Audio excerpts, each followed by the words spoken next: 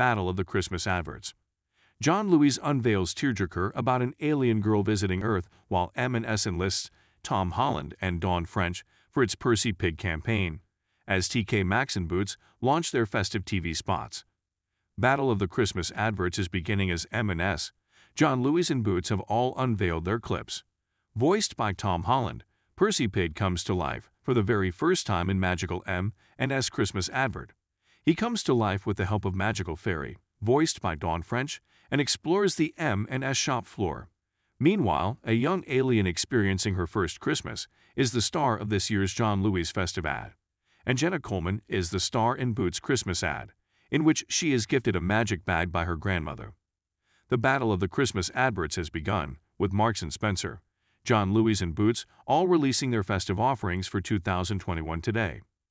Voiced by British-born Hollywood actor Tom Holland, Percy Pig comes to life for the very first